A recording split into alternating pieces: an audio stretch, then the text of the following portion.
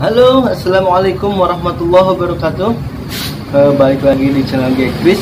Di video kali ini gua mau nge-review sebuah pisau, pisau sembelih milik salah satu subscriber yang kemarin ngejapri minta di asah dan di mirror. Katanya pisaunya udah agak sedikit tumpul gitu. Ini pisaunya seperti ini. Ini pisaunya seperti ini. Tinggalnya eh, sarungnya yang dari kulit sapi. Tapi sebelum kita mulai jangan lupa buat dukung terus channel Gekris biar terus berkembang dengan cara klik like, comment, dan subscribe. Baby,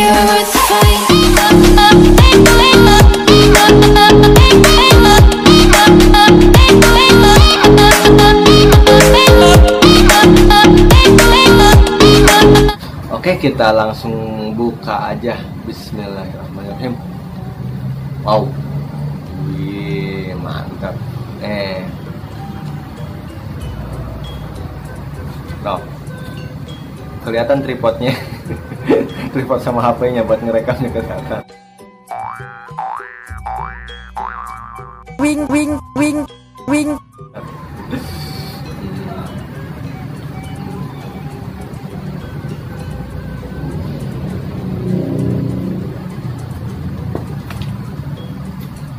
Ini handle-nya handle-nya panjangnya sekitar 14 cm dan panjang bilahnya total 29 29 setengah. Jadi panjang total dari handle ke bilahnya itu sekitar 43 setengah ini cocok nih buat megang pas di genggaman dibikin ulir-ulir juga nih gripnya jadi nggak licin di handle-nya jadi pegangan kita nggak takut lepas dan licin.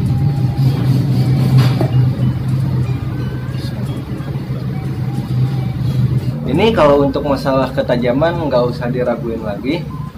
Insya Allah tajam ajib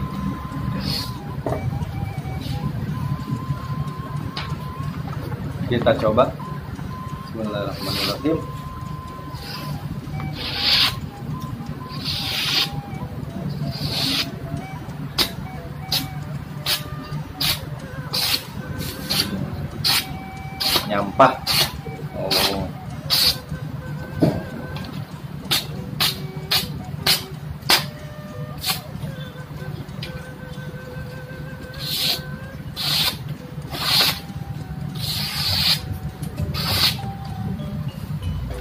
sebetulnya sebetulnya bilah apa aja kita bisa yang penting baja ya.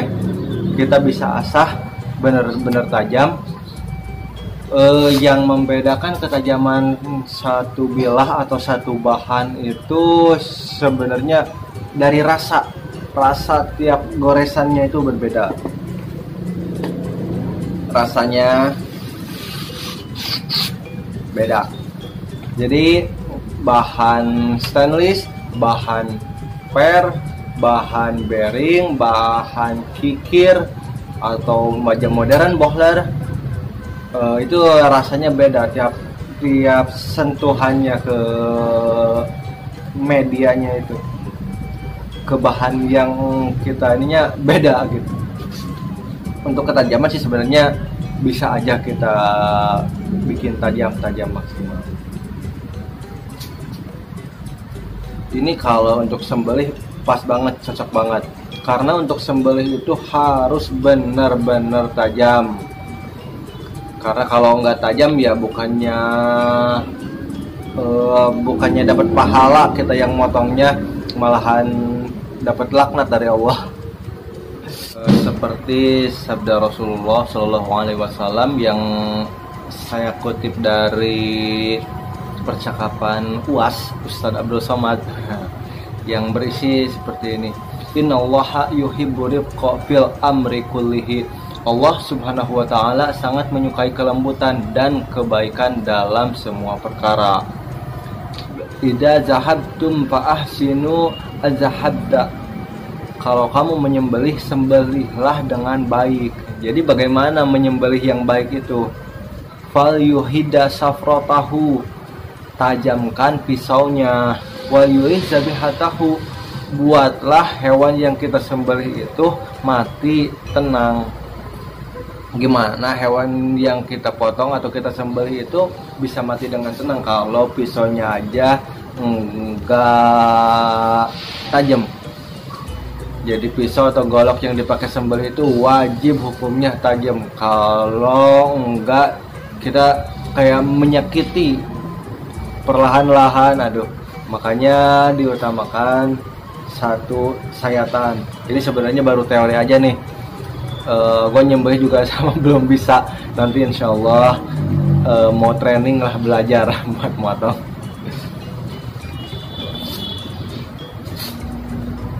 Kalau pisaunya tumpul itu uh, menyakiti menyakiti hewan sembelihan. Jangankan seperti itu pernah Rasulullah menegur atau melarang ketika salah satu sahabat uh, mengasah mengasah alat potong atau pisaunya itu di depan kambing yang mau disembelih. Jadi beliau berkata itu sama saja membunuh hewan itu dua kali. Jadi itu sangat menyakiti. Kalau mau ngasah ya diumpetin lah. uh, jangan di depan hewannya, matanya ditutup, kupingnya ditutup, pendengarannya. Jadi ngasah kan sebaiknya di belakang. Jadi ketika di tempat di lokasi udah siap uh, untuk jadi udah siap buat nyembeli. Ini udah mantep banget. Udah siap udah siap ke medan tempur medan laga insya Allah sebetulnya uh, yang dikirimnya itu bukan cuman pisau sama goloknya juga. Jadi dua buah bilah satu pisau satu golok. Yang yang dikirim tadi asa dan di mirrornya. Tapi gua review yang uh, pisaunya. Nih goloknya seperti ini. Ini katanya golok tasik. Golok tasik gagang tanduk oh ngunci ya bukannya gitu kan Wih ajib juga. Insya Allah tajam. Udah mirror, udah bisa ngaca. Bening.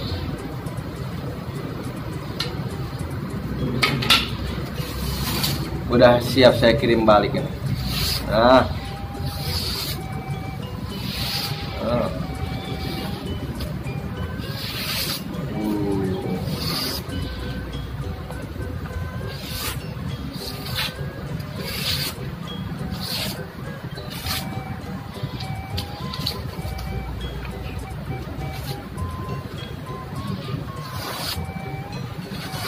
Jadi ini kedua bilahnya udah udah tajam lah insya Allah udah cukup kalau buat nyembelih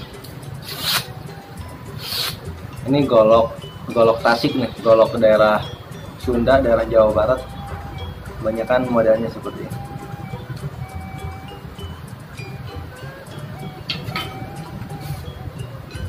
Jadi ini kedua bilahnya kedua alatnya udah bisa diambil udah siap. Paling besok gua kirim lagi ke orangnya. Oke mungkin sekian dulu yang bisa gua share di video kali ini. Jangan lupa buat dukung terus channel Gekris biar terus berkembang dengan cara klik like, komen, dan subscribe. Sampai jumpa di video selanjutnya. Bye. Baby,